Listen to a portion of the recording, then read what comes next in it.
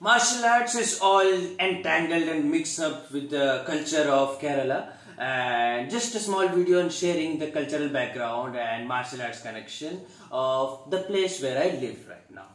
Because of the movie, we all know what is Mamangam. It is like a big festival. So actually what it is, is like every 12 years, there used to be this grand festival of everything, like dance, music, uh, martial arts was a big aspect of this.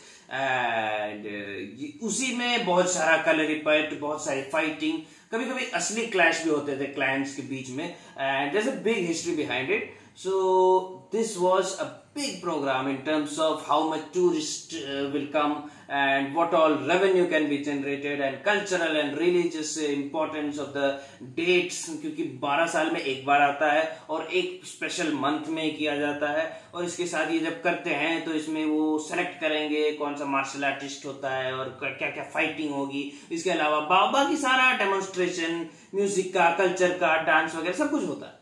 So the thing is this is just one and इसी तरीके से और भी cultural aspects हैं बहुत सारे। जैसे कि मतलब अभी बताता हूँ मैं।